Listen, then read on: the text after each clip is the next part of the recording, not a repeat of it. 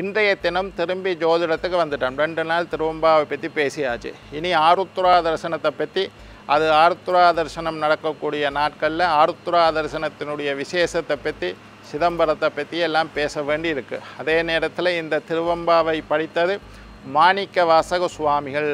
அப்போ இடையில் ஒரு நாள் மாணிக்க வாசகரை பற்றியும் பேச வேண்டும். மாணிக் திருவம்பாவையை படித்த பிரயோசனம் இல்லை.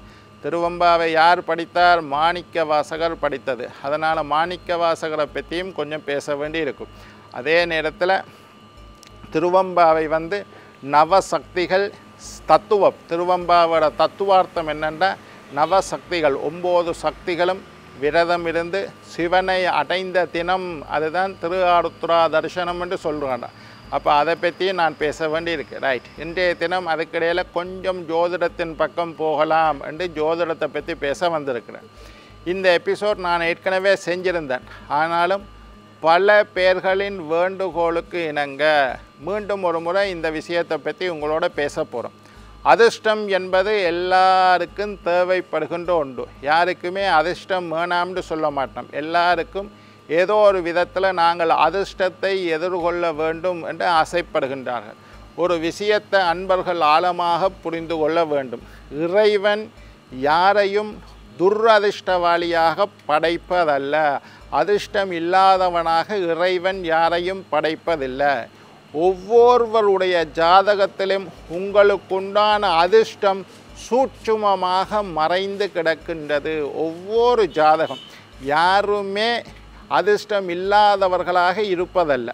உங்களுடைய ஜாதகத்தில் உங்களுக்குண்டான அதிர்ஷ்டம் புதைந்து கிடக்கின்றது. நல்ல ஜோதிடர்கிட்ட போனால் நீங்கள் வழிபட வேண்டிய தெய்வம் என்ன? அதிர்ஷ்டம் எந்த வழியில் உங்களுக்கு வரப்போகின்றது?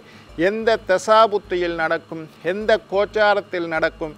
எந்த கிரகம் உங்களுக்கு அதிர்ஷ்டம் தரக்கூடிய கிரகம்? எந்த தெய்வத்தை வணங்கினால் உங்களுக்கு அதிர்ஷ்டம் கிடையும்? எந்த கிழமை உங்களுக்கு அதிர்ஷ்டமான கிழமை?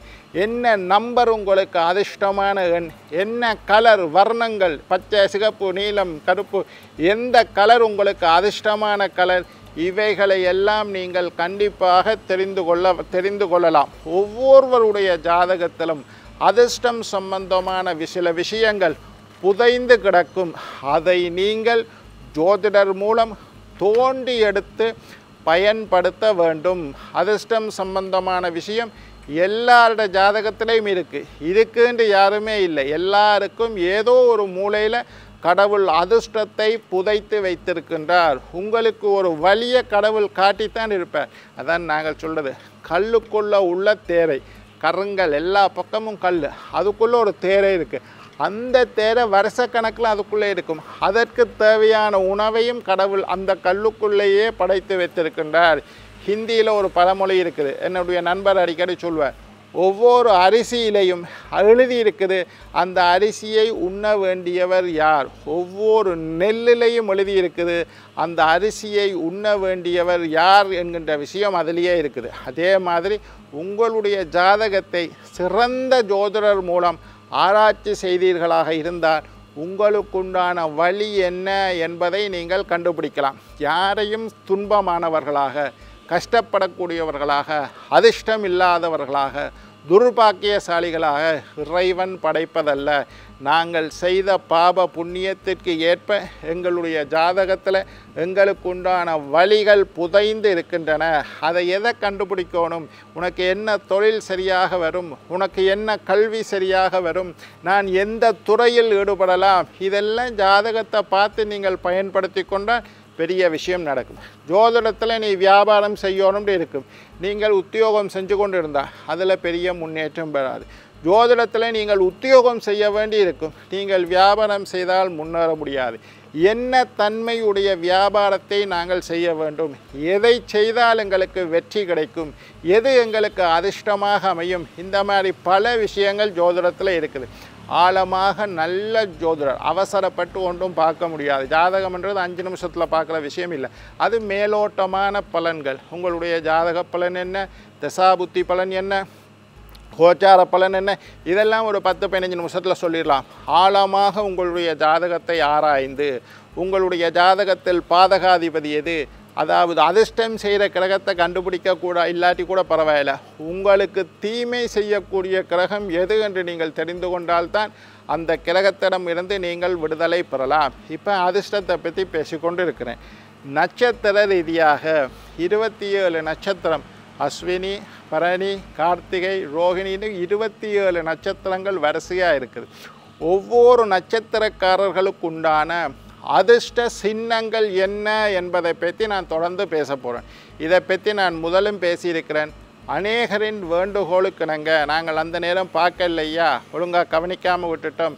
இன்னொருக்கா சொல்லி தாங்கொண்டு பல பேர் கேட்டதனாலும் பல பெயர் இந்த அதிர்ஷ்ட சின்னங்களை பயன்படுத்தி வாழ்க்கையில் வெற்றி அடைந்தார்கள் ஒரு அம்மாவுக்கு சொல்லியிருந்தேன்.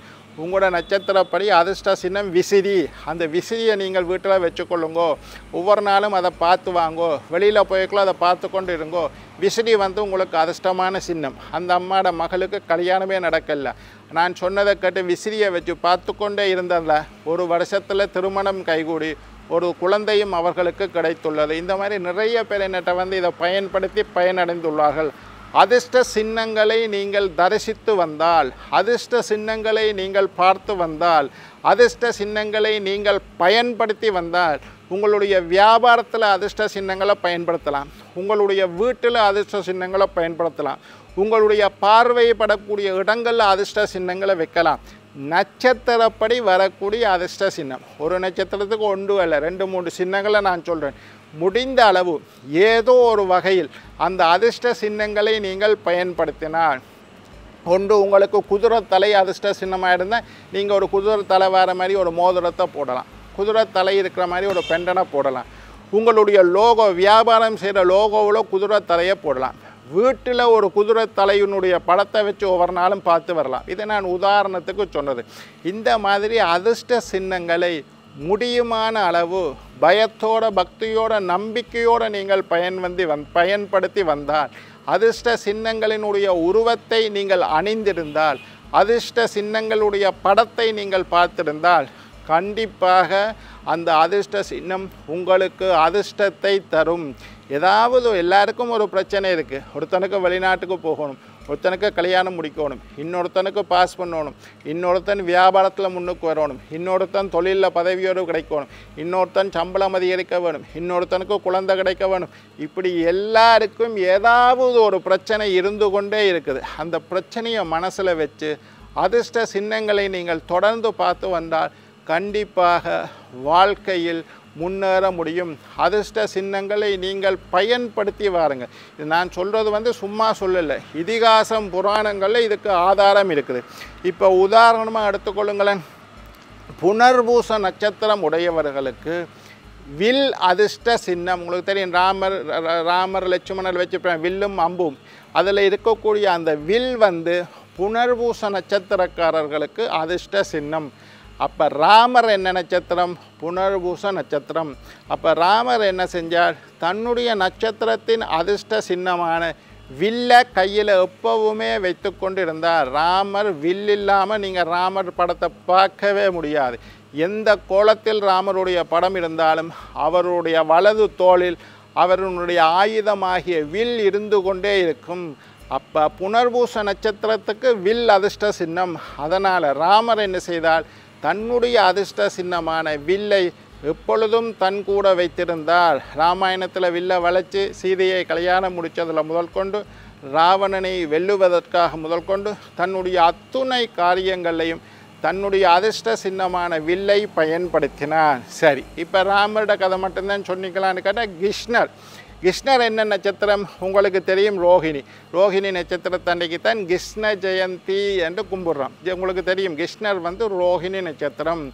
ரோஹிணி நட்சத்திரத்தன்னைக்கு அட்டமி திதியில் கிருஷ்ணர் பிறந்தார். அப்போ கிருஷ்ணர் நட்சத்திரம் ரோஹிணி. ரோஹிணி நட்சத்திரத்துக்கு என்ன அதிர்ஷ்ட சின்னம்? தேர். தேர் வண்டி. அதுதான் ரோஹிணி நட்சத்திரத்துக்கு அதிர்ஷ்ட கிருஷ்ணர் என்றாலே உங்களுக்கு ஞாபகம் பாடுறது மகாபாரத யுத்தம். மகாபாரத யுத்தத்தில் கிருஷ்ணர் என்ன செய்தார்? பஞ்ச பாண்டவர்களின் பக்கம் இருந்தார். அர்ஜுனனின் தேரை தேரோட்டியாக இருந்து கொண்டார் கிருஷ்ணர். கிருஷ்ணர் தான் அர்ஜுனன் தேரை ஓட்டி பஞ்ச பாண்டவர்களுக்கு வெற்றியை தேடித் தந்ததே கிருஷ்ணர். எதன் மூலம் வெற்றியை தேடித்தந்தார் தன்னுடைய அதிர்ஷ்ட சின்னமான தேரிலே சாரதியாக இருந்தார். கிருஷ்ணர் எவ்வளோ பெரியார்? அவர் வந்து தேர் சாரதியாக இருந்தால் ரோஹிணி நட்சத்திரத்துக்கு அதிர்ஷ்ட சின்னம் தேர். அப்போ கிருஷ்ணர் ரோஹிணி நட்சத்திரத்தில் பிறந்தனால் தேரில் ஏறி மகாபாரத யுத்தத்தை நடத்தி பாண்டவர்களுக்கு வெற்றியை பெற்றுக் கொடுத்தார். இதே மாதிரி ஒவ்வொரு நட்சத்திரத்துக்குண்டான அதிர்ஷ்ட சின்னங்களை நான் சொல்ல இருக்கின்றேன். அதையெல்லாம் ஆழமாக புரிந்து குறிப்படுத்தி பயன்படுத்தி நீங்கள் வாழ்க்கையில் வெற்றியடைய வேண்டும் என்று வாழ்த்தி வணங்கி விடைபெறுவது உங்கள் ஜோதிட சித்தர் டாக்டர் ராஜராஜ குருக்கள்.